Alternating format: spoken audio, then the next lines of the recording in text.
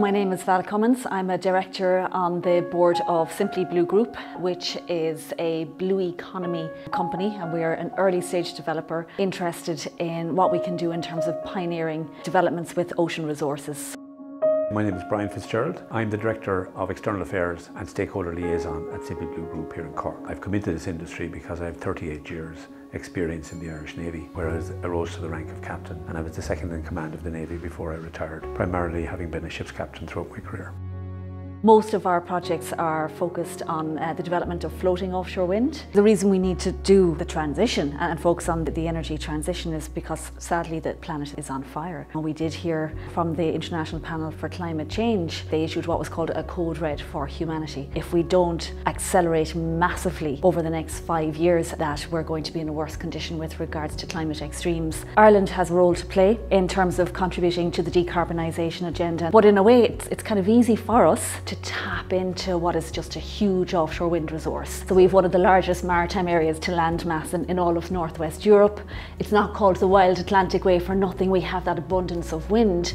The wind is definitely there, but I think every Irish citizen knows that with our beautiful wild Atlantic way. But what most people don't know is it's relatively shallow water. And it's shallow water because we have this extraordinary continental shelf. And the continental shelf has shallow water of somewhere between 100, maybe up to 300 metres. And it's because of that shallow depth, you can put infrastructure out there and secure it to the seabed. There is no continental shelf off the west coast of Portugal. There's no continental shelf off the north coast of Spain. It's off the west coast of Ireland floating offshore wind is absolutely Ireland's opportunity in particular because we can do this at scale. The programme for government talks about doing 30 gigawatts of floating offshore wind off the west coast.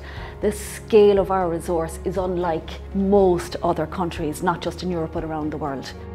Floating offshore wind can hit on the triple bottom line in terms of the benefits that it has to offer. And what I mean by that is benefits for, for people, benefits for planet, and benefits for prosperity. We have targets to decarbonise 80% of our electricity in Ireland is, is to come from renewable sources by 2030. And the government has set a target of 7 gigawatts of offshore wind by 2030. And a gigawatt roughly would power about a million homes. In fact, Ireland could be an exporter of clean renewable energy into Europe. I think that this would be the greatest opportunity for Maritime Ireland that has ever happened uh, in our history. If we can work together as a country on this, and in particular what is a proportionately small maritime community in Ireland, if all of them can come together, I think it'll be quite extraordinary what Ireland could actually deliver for itself, for its coastal communities, for its socio-economic impact, and for the entire economy, and indeed the economy of Western Europe.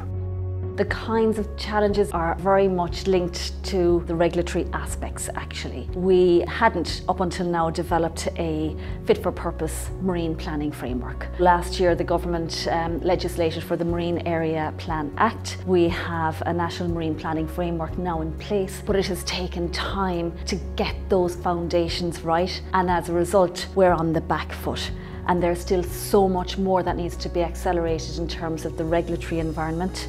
As I mentioned, we're doing two floating offshore wind projects, one off the south coast, one off the west. But to build those projects, each of them is 1.3 gigawatts. You're talking about an investment of at least 2 billion euros and upwards. It takes about 2.8 billion euro for one gigawatt of electricity, therefore there is 78.4 billion. Now that is 78,400 million euro worth of investment off the Irish coast today knocking on the door requesting permission of Ireland to build a wind farm in this location. Because when we're talking about developing huge resources offshore for floating offshore wind, the million dollar question is where's the route to market? So the nut to crack here really is, is to route this to an international market, to take the energy for export. That will also raise the interest of foreign direct investors who will say that Ireland is seriously open for business if we realise the export scale of what we've got at our disposal here in terms of raw material. If we work together and we synergise and reap the benefit of the greatest socio-economic opportunity this country has ever seen, I think that Ireland could indeed become a very, very successful place that will satisfy our own requirements, will export energy and will be the battery of Europe.